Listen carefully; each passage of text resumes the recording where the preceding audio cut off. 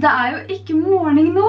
Nå er det kvelden. Jeg er så vant til å starte vlogger på morgenen, så det ble liksom god morgen alle sammen. Men akkurat nå så er klokken sånn halv tolv på kvelden, og jeg skal eh, legge meg. Og jeg tenkte å starte denne vloggen her og nå, fordi jeg skal tipse dere og vise dere et produkt som jeg elsker og digger, og som jeg vil gi til dere videre. Og jeg har vist dette før, og la la la, Tan Revel.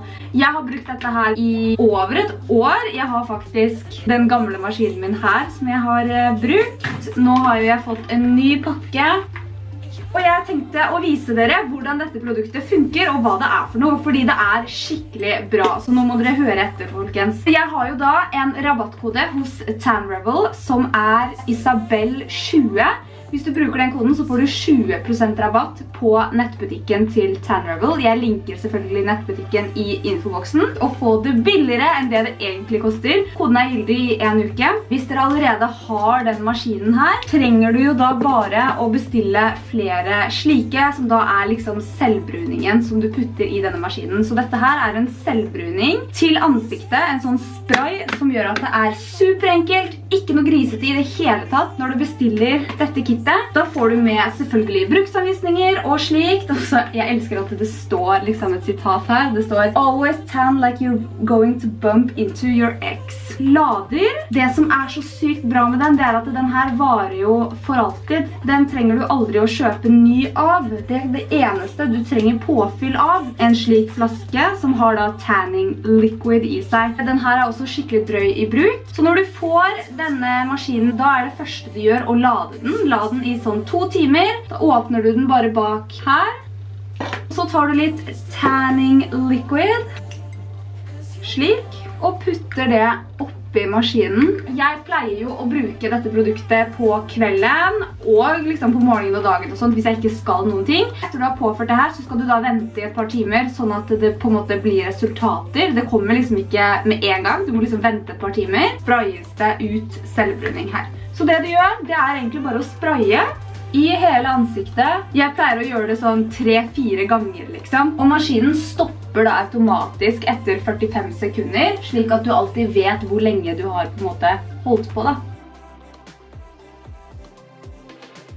Jeg pleier også å bruke den på brystet mitt. Altså, dere ser jo allerede nå til og med at jeg har fått en sånn glød i ansiktet. Tan Revel har jo også en sånn her på nettsiden. Rundt håret ditt slik, sånn at du slipper å få på en måte selvbruning i håret. Amazing. Jeg pleier også å bruke den her når jeg sminker meg.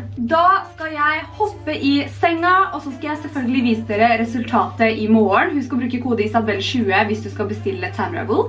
Så får du det billigere enn det det egentlig koster. Ha det! Eller, natta! Jeg vet da faen hva jeg skal si. God morgen. Jeg skal dra og spille inn podcast nå. Jeg gidder ikke å sminke meg fordi jeg tok på Tam Revel i går. Jeg har litt farge i ansiktet, men jeg har jo slit jo med litt poser og sånt under øynene. Må jeg ta på litt eh, concealer.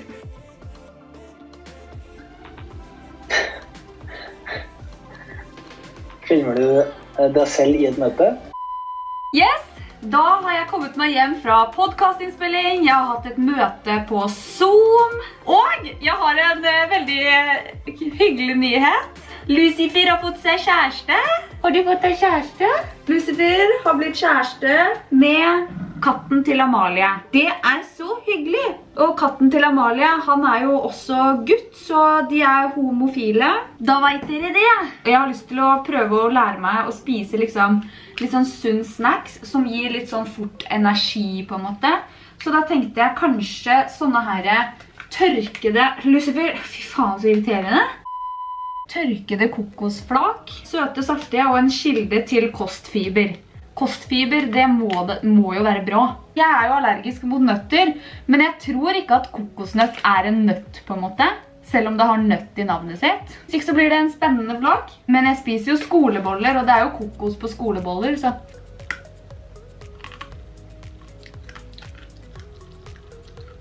Det var ikke så godt, det smakte egentlig ingenting.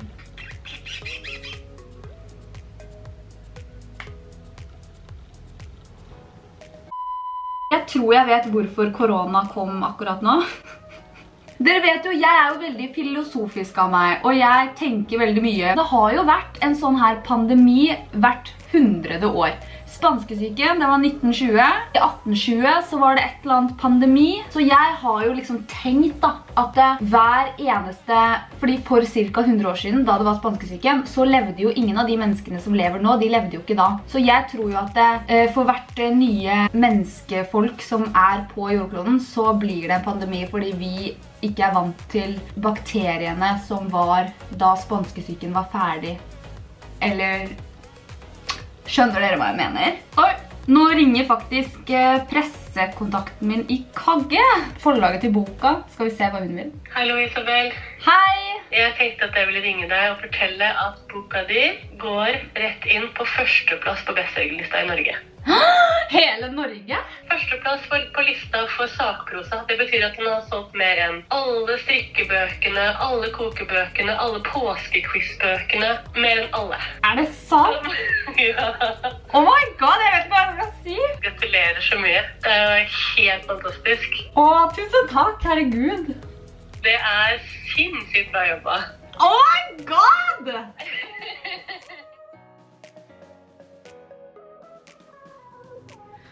Alright! Da er det en dag senere, eller to dager senere, jeg husker ikke. Men Julie og pappa de, de har fått seg en hund som skal hete Mille. Hvor gammel er den? Åtte uker. Så jeg skal på tacokveld, for det er fredag i dag, så jeg skal på tacomiddag hos pappa og og hilse på Mille for første gang. Let's go! Ew! Se boka vi har her. Vi er på Coop og boka vi har her. Oh my god. Jeg kjøpte min egen bok på Coop. Jeg visste ikke at den var der engang. Så jeg måtte jo kjøpe min egen bok. Det var veldig gøy. Og det var helt koko Det var ikke koko, på en bok. som jeg allerede har lest. har lest. Jo, jo, men det er jo litt gøy da.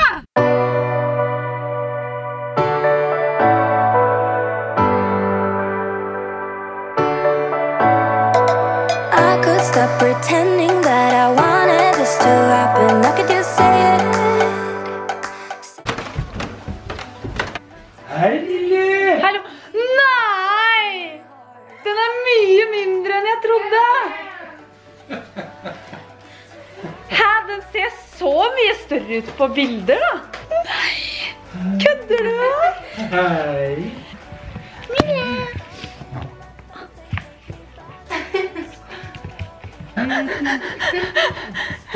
Den er mindre Lucifer.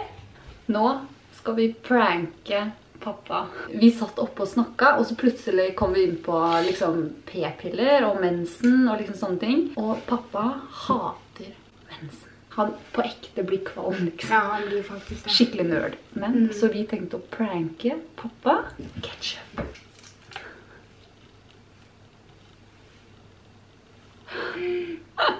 Men det lukter jo ketsjup. liksom. Jo, men han skjønner jo at det ikke er ekte. Ser det ekte ut? Nei, det ser skikkelig fake ut.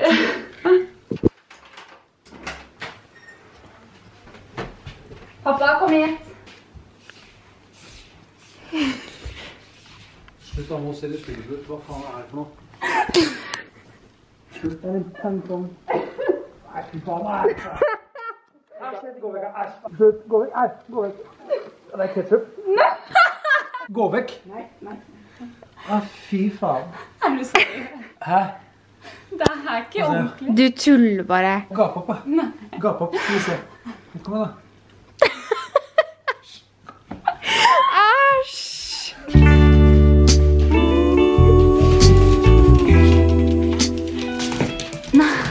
Da pappa hentet meg, så var jeg i posten, og jeg har fått tre fanbrev. Så jeg tenkte å åpne på video, fordi det vil sikkert de som har sendt meg dette her. Det er litt skummelt da, tenk om noen sender meg noe liksom ekkelt. Prank, liksom. Tenk om noen skal pranke meg. Nei! Vil jeg se? Sånne bamseøredobber. De var faktisk sykt søte. De skal jeg bruke. Scrunchie! Tusen takk! Er det vitaminbjørn? Nei, det ligner på sånne vitaminbjørn. vitaminbjørner. det. Men det er jo ikke det. Nei, jeg skjønte det Ja, du da. skjønte, skjønte du det? Ja. Skjønte at det ikke var ordentlige vitaminer? Ja. Ja. Åh! Thea, det er så hyggelig å se liksom, bilder av de som følger meg. Ja. Håper du kan lese opp brevet når du filmer. Tusen takk, Thea! Oi, hun har tegnet meg. Så har vi en til. Kan du åpne på kamera? Dette er fra Synne. Tusen takk, Synne. Jeg er VIP. Det er bra. Det er gjeng igjen. Tusen takk, jenter. Dere er så søte. Jeg elsker dere så mye.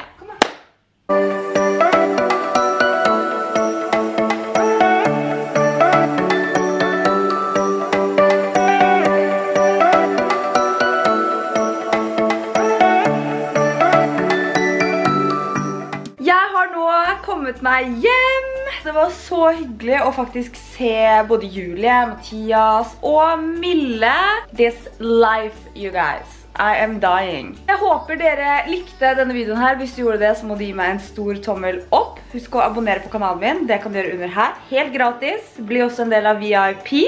Da trykker du bare på bjella ved siden av abonnerknappen. Du kan også kjøpe merch. Link i infoboksen. Og så prates vi veldig snart igjen i min neste video her på kanalen. Ha det!